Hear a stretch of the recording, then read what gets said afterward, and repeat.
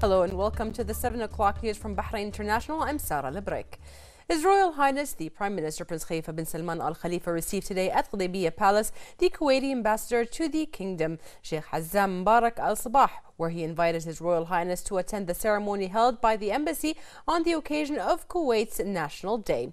His Royal Highness praised the bilateral deep-rooted relations and the achievements made by the two countries. He hailed the firm stances of Kuwait towards Bahrain in different circumstances under the leadership of the Emir of Kuwait, His Highness Sheikh Sabah Al Ahmed Al Jaber Al Sabah. The ambassador affirmed that His Royal Highness is a role model in spreading communication and cooperation values. He expressed the admiration of Kuwait's uh, leadership and people towards His Royal Highness for his role in enhancing bilateral relations. His Royal Highness highlighted the development witnessed between the two countries in all fields. He wished Kuwait further progress and prosperity.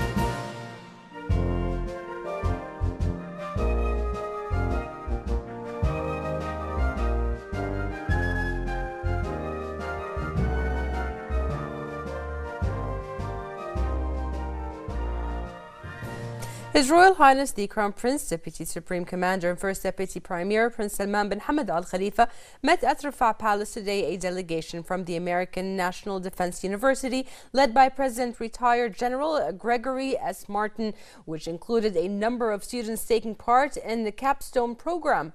The Crown Prince affirmed the importance of Bahrain's relations with the dif different civil and military international educational institutions out of Bahrain's belief in the vitality of trade training and education in all fields. He commended the role of the university in training and preparing leaders who plan strategies related to security and peace. He welcomed the delegation's visit to the kingdom, which confirms the strategic Bahraini American relations, wishing them continued success. His Royal Highness the Crown Prince, Deputy Supreme Commander and First Deputy Premier Prince Salman bin Hamad Al Khalifa met at Riffa Palace today. British Conservative MP Conor Burns, who is also chair of the UK Bahrain All Party Parliamentary Group. The Crown Prince commended the two kingdoms' keenness to confirm the historic depth of bilateral relationships and its strategic importance, which reflects on the fields of understanding and partnership based on mutual interests. He noted the importance of continuous exchanging visits on all levels as it distributes or contributes in reinforcing uh, joint cooperation and views on different issues. His Royal Highness expressed appreciation for the support of the United Kingdom to friendship relations with the Gulf Cooperation Council countries, saying the UK considers them vital and influential, which has been reflected in the effective role of the UK in preserving regional security. His Majesty King Hamad bin Isa Al Khalifa deputized his personal representative, His Highness uh, Sheikh Abdullah bin Hamad Al Khalifa, yesterday to open the exhibition of Russian painter Nikas uh, Stepanovich uh, Safronov at the Four Seasons Hotel in Bahrain Bay. The Bahrain Authority for Culture and Authority organized the art exhibition in cooperation with the Russian Embassy in Manama. More in this report with Yasmin Ibrahim. The Bahrain Authority for Culture and Antiquities, in collaboration with the Embassy of the Kingdom of Bahrain in Russia, presented the artworks of Russian artist Nika Safronov, which was opened by the personal representative of His Majesty the King, His Highness Sheikh Abdullah bin Hamad Al Khalifa. His Majesty the King told me so much about this country, and we dedicate this exhibition to His Majesty the King and to the lovely Kingdom of Bahrain. I'm so proud he invited me to Bahrain and I appreciate his kindness and I dedicate this exhibition to Bahrain from Russia with love. I've prepared a gift for His Majesty and we hope that he will appreciate the portrait. This is my first exhibition in Bahrain and hopefully it won't be the last. I was so inspired by your country, Bahrain, and your city, Manama, and have collected many great impressions of Bahrain. His Highness Sheikh Abdullah bin Hamad was welcomed at the venue by BACA President Sheikha Mai bin Mohammed Al Khalifa and Capital Governor Sheikh Hisham bin Abdul Rahman Al Khalifa, along with senior officials, diplomats, and artists, who toured the exhibition showcasing 21 artworks, each of which allowed the audience to experience a contrasting style of visual expression. The relationship between Bahrain and Russia started with art. Uh, Her Excellency Sheikha Mai uh, organized in Hermitage in St. Petersburg a big exhibition four years ago, and we have very good relationship between Russia and Bahrain. Uh, we signed so many agreements uh, with regard to art and culture. And in 2017, this is the first event we organized in, in Bahrain, uh, the art exhibition. But again, we are going to have so many activity and so many events. The exhibition presents Bahrain's interest in promoting cultural understanding and the kingdom's continuous efforts to build bridges between other cultures. The extraordinary works of Nikas will be showcased until the 24th of February, gathering tens of thousands of art lovers. Reporting for Bahrain International, I'm Yasmin Ibrahim. Commander of the Royal Guard, Brigadier General His Highness Sheikh Nasser bin Hamad Al Khalifa, received at Sakhir Air Base today a number of BDF Special Duty Force participants who are taking part in Operation Restoring Hope in Yemen, alongside the Saudi led Arab coalition forces. His Highness welcomed the Special Duty Force uh, participants and expressed thanks and appreciation for their efforts in carrying out their noble duty. He noted their sacrifices in restoring the legitimacy of Yemen. Present were a number of BDF senior senior officers and families and relatives of the participating Special Duty Force personnel under the patronage of the representative of His Majesty the King for Charity Work and Youth Affairs, Chairman of the Supreme Council for Youth and Sports, and President of Bahrain Olympic Committee, His Highness Sheikh Nasser bin Hamad Al Khalifa. The closing ceremony of the third Bahrain Falconry and Hunting Tournament was held yesterday at Sofitel Hotel in Zallaq. Present were the Vice President of the Supreme Council for Environment and Bahrain Royal Equestrian and Endurance Federation's Chairman, His Highness Sheikh Faisal bin Rashid Al Khalifa, Youth and Sports Affairs Minister Hisham bin Mohammed Al Joder, a number of the royal family members and the participants of the tournament, Sheikh Nasser affirmed that the tournament managed to achieve its goals to support falconers from Bahrain and the Gulf to improve their skills and abilities. His Highness noted that the aim of the tournament is to revive traditional sports, which run turn or which in turn will preserve the rich Arabian culture of the Gulf.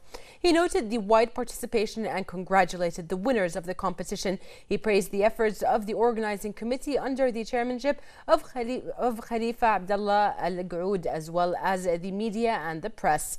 Poet uh, Salim bin Jkhair recited a poem at the beginning of the ceremony on the occasion. After that, the winning falconers were announced, where Qatari contestants Hamad bin Saeed Al Jamila and Hamad bin Nasser bin Saeed Al Tamimi won first and second place, respectively, whilst uh, Saudi contestant Majid bin Mu'jib Al Dosari won third place. Sheikh Nasser then handed appreciation certificates to the sponsors of the tournament and honored the winners of the beauty competition for their falcons. The Speaker of Ashura Council, Ali bin Saleh Al Saleh, chaired today the Council's weekly meeting. The Council approved a draft law regarding the use of medical technologies to help with fertility and another draft law regarding the amendment of some provisions of Bahrain's central bank and other financial institutions. The majority of the Council's members approved a draft law regarding the agreement of transferring convicts between Bahrain and India. The final decision will be reached next meeting.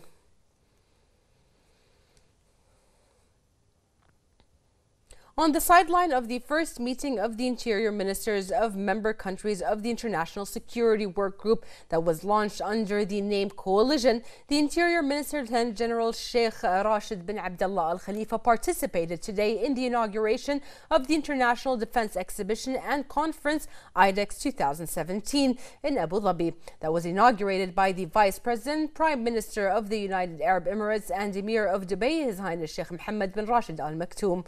The inauguration was held in the presence of the Crown Prince of Abu Dhabi and Deputy Supreme Commander of the UAE Armed Forces, His Highness Sheikh Mohammed bin Zayed Al Nahyan, defense ministers, army leaders, specialists, and experts from 57 countries, in addition to 1,235 local and international defense industry companies. The Interior Minister hailed the organizational procedures taken by the UAE for the success of this major international gathering that is considered as a good opportunity to exchange expertise and experiences in defense and security fields and get briefed on the latest technologies in the sector in order to face security challenges.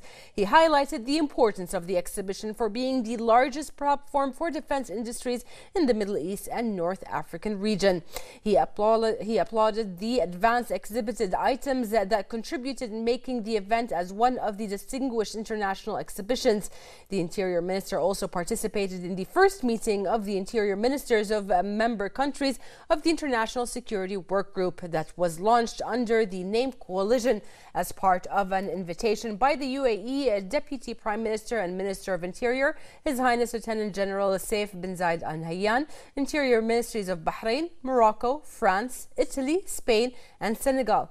During the meeting, the Interior Minister expressed in his speech thanks and appreciation to His Highness the UAE Deputy Prime Minister and Interior Minister for this good gesture to form an international coalition to fight all forms of crimes.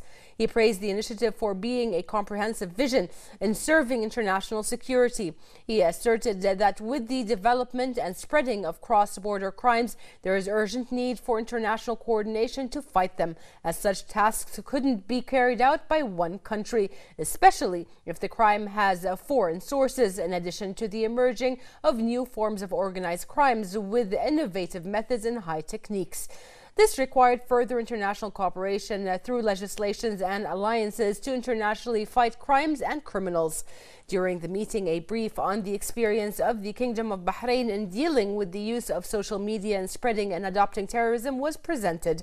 At the end of the meeting, it was decided to launch the coalition as an international work group that cooperates to achieve security of societies through exchanging of expertise and the best practices and passes the declaration of the coalition in five languages Arabic, French, Italian, Spanish, and English. These copies should be signed by the member ministers within three months of the date of the meeting.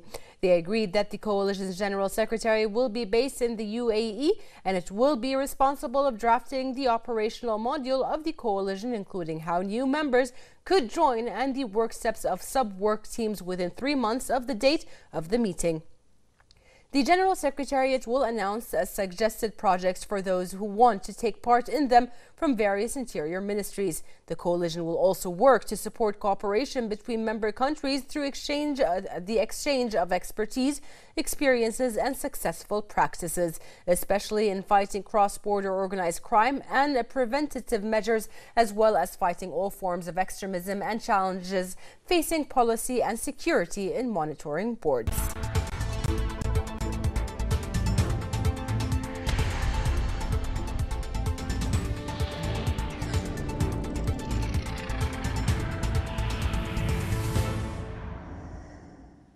A very good evening. You're watching the business news on Bahrain International with me, Shog Mohammed. Bahrain All Share Index has closed at 1,321.28 points, marking a decrease of 2.44 points below the previous closing. The decrease was in the commercial banks, investment and services sectors, and investors traded mainly in the commercial banks with 68.05% of total shares. 57 transactions included 1,601,016 shares worth 400 341,402 Bahraini dinars.